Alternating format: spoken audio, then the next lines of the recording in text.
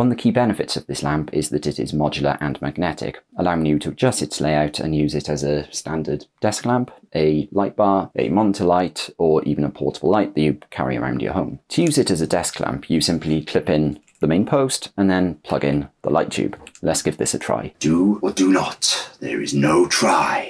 Using this as a monitor light will allow you to run it in ambient light mode. The boring lamp also has a built-in mic, allowing you to support music syncing, meaning that it can dance along to songs, which is a pretty neat feature.